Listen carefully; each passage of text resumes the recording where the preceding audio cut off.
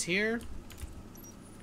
And let's jump right into it. Spawning in the bottom right position as the blue Terran player coming in from Quantic Gaming. He just took out Zenio. It is Apocalypse. I didn't just mess up the camera. And spawning in the top left position as the red Protoss player who's sending out a very fast probe. It is Evil, excuse me, I keep looking at the EGTL. The EGTL just throws me off. It is Team Liquid's Hero, who gets to zoom in for no reason other than the fact that he sent out a fast proxy probe. There it is, guys. We're going to see some fine cheddar this game. I hope you brought your cheese graters because it's about to go down. Now, Apocalypse, he's got a couple of choices he can make here. One of them could be to go command center first. That choice would lose him this game. Um, yeah. So, this is going to be uh, pretty interesting. I don't have much else. Oh, Apocalypse is going gas first.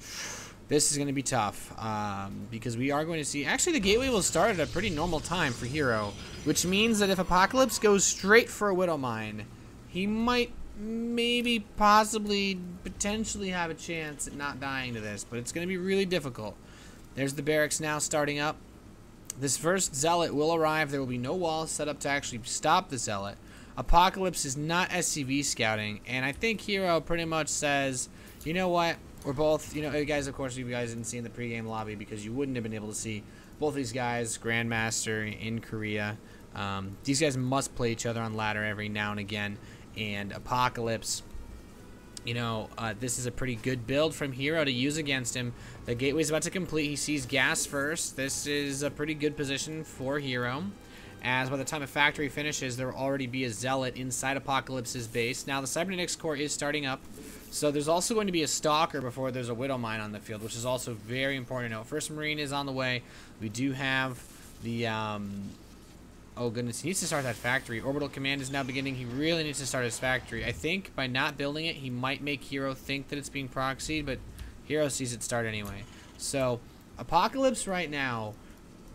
Oh, this is such a weird spot. He's going to build a Reaper after this first Marine. I do like this play, but the Marine trying to get that probe will not grab it just yet. Now there's a Zealot on the field.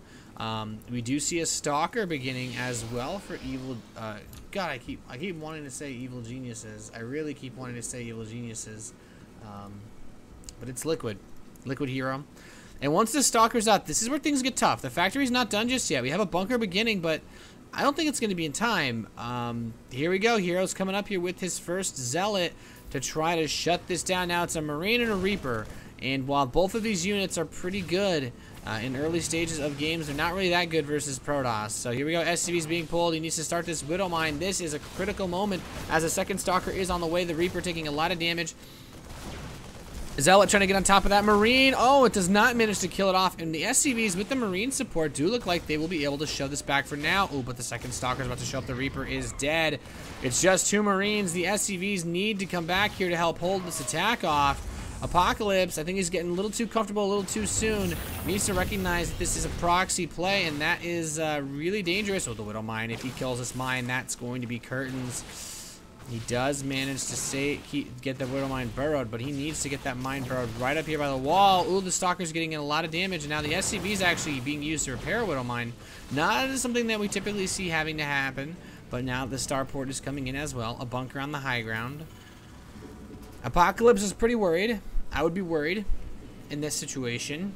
Um, also, a little bit of a supply block hitting him because that cannot start this next mine just yet. Delayed by about 10 seconds or so. Now, the probe wants to bait out the Widow Mine shot um, so that the Stalkers can just come in here and kill all the Marines. But no such luck yet. Apocalypse doing a great job of preventing that Widow Mine um, from being baited.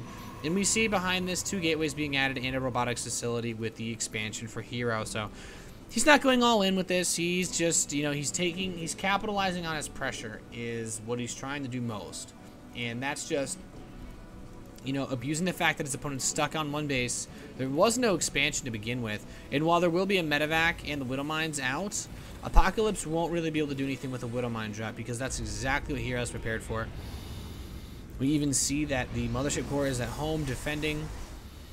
And with this natural nexus now finished as well, it, he will be able to Photon overcharge that once he gets enough energy. And here we go, the first medevac. Here we go, three mines gonna load up. And Apocalypse, he needs to make something happen right now. He needs to do something because he's a little bit in a, in a somewhat shaken up position. Now, Hero didn't really kill too much, so it's not like Apocalypse is behind in this game. He just doesn't have any kind of expansion set up, and um, Hero knows what he's doing. And this is where Apocalypse is either going to fall behind, get ahead, or hopefully do enough damage to break even uh, because even just killing a couple of probes will be enough. Now, we do have a Cloak follow-up as well. I'm not sure how effective Banshees are versus Protoss due to Photon Overcharge and how easy it is to get Observers. Now, this Observer for Hero is going to poke away at these supply depots.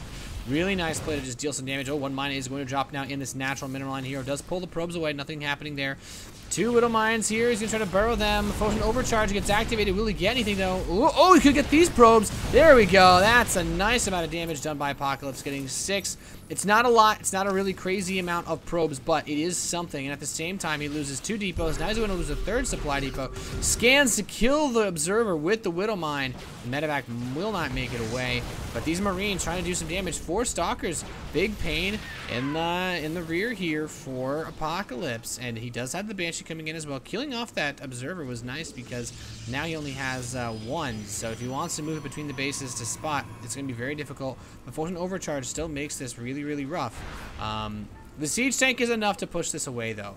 The big problem right now for Apocalypse, he does not have an expansion even started. Here we go. The Banshee's going to try to come in here and kill some probes. It should be able to get some damage done because the Observer has to cross the other side of the map.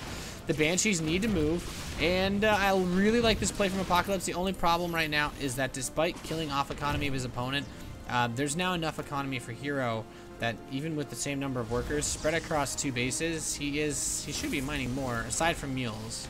Mules will be the only big pain, and this Banshee's just trying to poke away. It's really just trying to be, you know, a, a big annoying pain, pain in the ass, um, as it were. Apocalypse, though, he is he is advancing forward slower than the slowest turtle in all of the sea. Um, not even yet claiming his natural back yet. Poking with the Banshees, which is totally fine. But now there's another Observer, two more Stalkers in the natural. This next Banshee should not too much. And with three siege tanks, I mean, I guess Apocalypse's only option here is to go all in. Um, I guess that's that's what he wants to do. He wants to just pull everything. Once he gets this third siege tank out, I expect Apocalypse to just pull everything.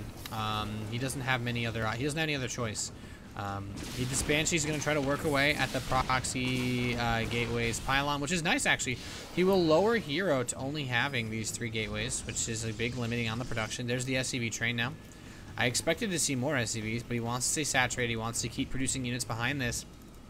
Apocalypse needs to go now, though, because there is an Immortal on the field.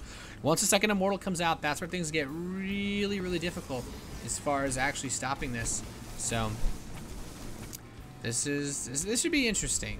Here we go. I, we haven't actually seen this style of 1-1-1 in a while, and the Photon Overcharge is kind of designed to counter this, so well, there he's going to have a Photon Overcharge, but the Banshee's helping to take out some of these units with the Siege Tanks. Blink is on the way, which is kind of cool. A Hero might just try to blink onto the army or go for a blink counterattack of sorts. Now the Photon Overcharge is about to get triggered. Um, Apocalypse wants that triggered as soon as possible, so there we go. But no, he might just move in on this. Apocalypse, he is going in deep here, trying to just target down those Immortals with the Banshees. The Stalkers are not in a good position. Apocalypse, he's going to do it. He's going to break this line. There's, there's some Stalkers coming from behind, but there's too many Siege Tanks, I feel. With these Banshees left completely unanswered, the probes are being pulled versus Siege Tanks. Never a position you want to be in. Apocalypse just needs to make sure he focuses down these Stalkers outside the natural. He will be able to pick them off, but the Nexus still remains, so Apocalypse will lose most everything, but I think the probe line being pulled for Hero gave, gives Apocalypse a huge edge, and I, am actually not too sure how, to feel, how I feel about this game anymore. Apocalypse does move the barracks over to the Tech Lab. He's going to start researching Zen, but now uh, one Banshee can beat two Stalkers, by the way, in a head-to-head -head fight, so in even in these low numbers, there's a lot that Apocalypse can do. There's also no more overcharge, which means probes that are near these bases can get picked off, but nice use of Blink by Hero to, to secure that, those couple of kills, but right now he's left a couple of Stalkers, and that's it.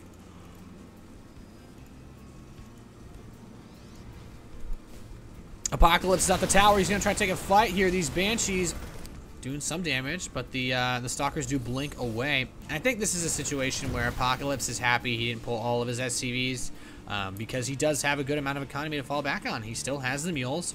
Worst comes to worst, he can just lift off to his natural. The starport is going to not do anything weird. He's just going to build a Raven. I like this decision. Good versus the uh, the Stalkers, of course, and also for kicking out the Observers.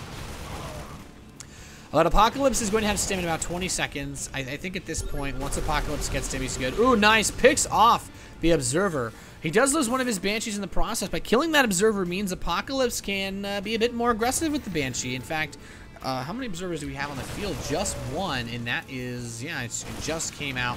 Apocalypse will lose his Widow Mine, but these Stalkers blinking like champs just trying to run away as much as possible. And uh, Apocalypse now with Stim. He's going to run up here, try to catch these Stalkers. The Stalkers do blink away.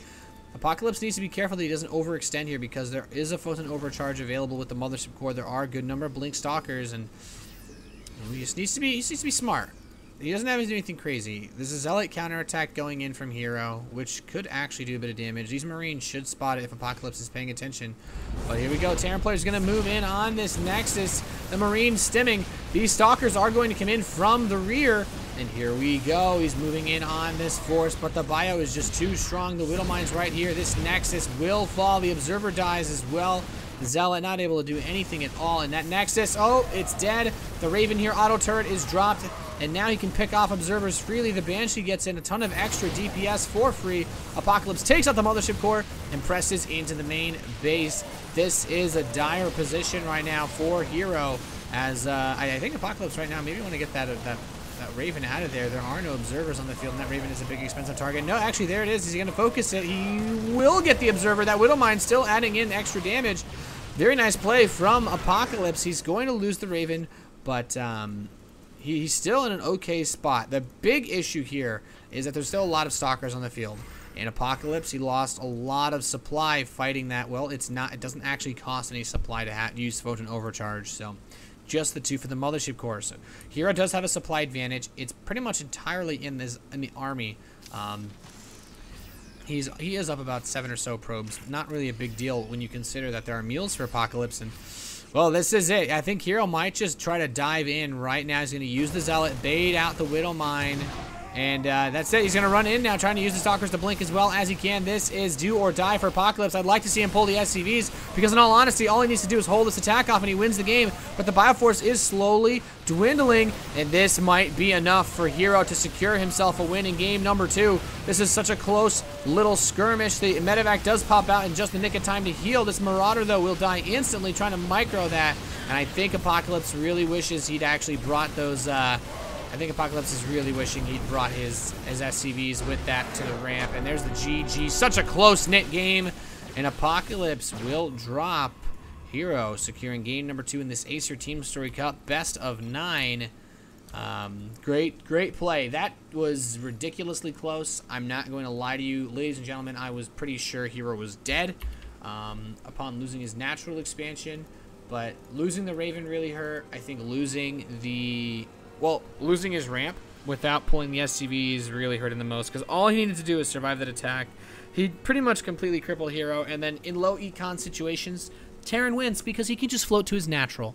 So, we'll have to see who uh, Quantic Gaming is going to send out next, guys. Don't go anywhere. You are watching the Acer Team Story Cup. Currently, this match is tied 1 to 1, and it is a best of 9. Stay tuned, and uh, we'll get you with the next game as soon as we can.